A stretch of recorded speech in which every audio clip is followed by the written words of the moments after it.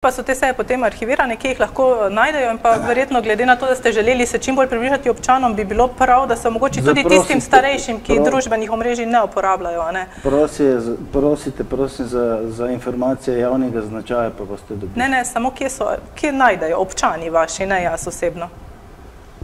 Naj zaprosijo, pa bodo dobili vse informacije. Torej, pri vas je treba ja. zaprositi za seje ja. občinskega sveta.